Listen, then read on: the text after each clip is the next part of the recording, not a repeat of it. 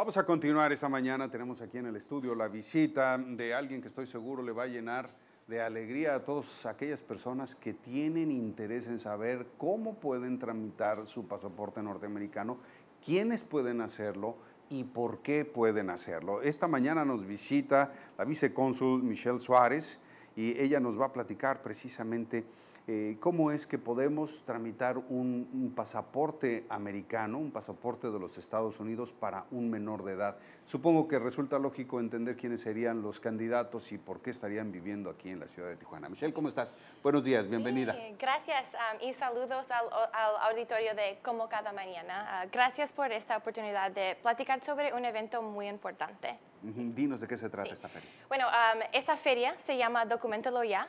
Es una feria de información um, y también de trámite de pasaportes americanos um, para hijos nacidos en Estados Unidos de padres mexicanos que viven aquí en México, migrantes o deportados. Entonces, esto es importante, se llama Documentalo Ya y claro que tiene que ser así porque a veces por este, ignorar cuál sería el procedimiento, muchos papás que tuvieron la suerte o la fortuna de tener a su niño en territorio norteamericano, pero pues no viven en Estados Unidos ni tienen un estatus legal que les permita vivir allá, su hijo ya tiene unos derechos, es ciudadano norteamericano. Sin embargo, el otro caso que tú mencionas es aquellos que pues sí trabajaban, vivían allá, pero fueron sí. deportados y se vinieron con todo y su niño, ¿no? Sí.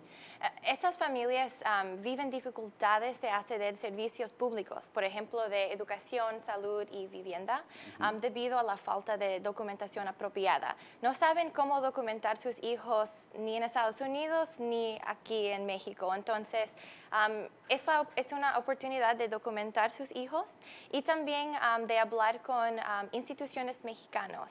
Um, vamos a tener, creo que es 12 instituciones ahí en la feria de información. Entonces, hay los dos lados del evento.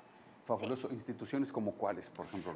por la Secretaría de Relaciones Exteriores, Instituto Nación, DIF ESIPAL, Sistema Estatal de Educación Popular, uh, Casa del Migrante, entre otros. Oye, eso está fantástico, por lo menos en esta feria no se van a sentir desamparados, ¿no? Con nadie y entienda su idioma. ¿Dónde vas? La feria es el 12 de octubre um, a la 1 de la tarde, instalaciones del consulado americano aquí en Tijuana. Y la nueva, ¿no? Muy bien, pues hay suficiente espacio, la verdad, que hasta para estacionarse, ¿verdad? Exacto. Sí. Oye, ¿qué es lo que tienen que hacer? ¿Quiénes son los candidatos? Por ejemplo, niños de hasta qué edad pueden realizar este um, trámite sus papás? De 18 años, hasta 18 años. Um, es muy importante mencionar que la situación mis padres no importa, pueden venir, es solo para hijos. Okay. Es importante mencionar que si quieren este evento, tienen previamente a, ¿ok? Ah, muy bien. Esto de mandar a citizenship.gov. Perfecto. Okay. Este, esta cuenta de se la vamos a publicar en nuestra página de Facebook porque pues yo sé que puede resultar a veces un poco complicado recordarlo, identificarlo de oído, ¿no? Así es que para que resulte más fácil. Sí. Lo que tengo que hacer entonces yo como papá es Ajá. enviarles un correo a esta dirección y ¿qué les digo en ese sí. correo? Que quieren una cita durante el evento, documentalo ya. Okay. Después uh, alguien del consulado va a responder con um, una lista de documentos necesarios y el tiempo de su, su cita.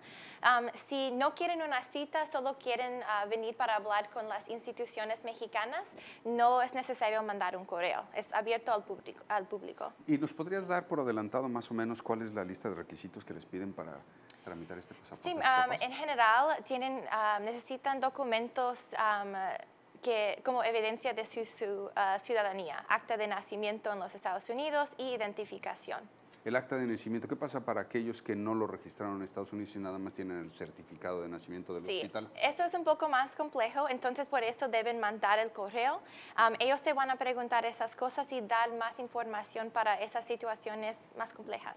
Una pregunta, eh, yo me imagino que cae en el mismo rubro, nos pregunta el público, ¿qué pasa si tuve algunos antecedentes eh, eh, como papá, Ajá. puedo llevar de todos modos a mi hijo, no tendría sí, ningún problema. Pueden llevar sus hijos, sí. Ah, perfecto, uh -huh. muy bien. ¿Algún número telefónico aparte de una página web donde se pueda meter la gente para buscar Eso más información? Es, la información, lo, um, ese correo también pueden ir a tijuana.usconsulate.gov con V de Víctor. Perfecto, okay. ahí lo tenemos. Sí.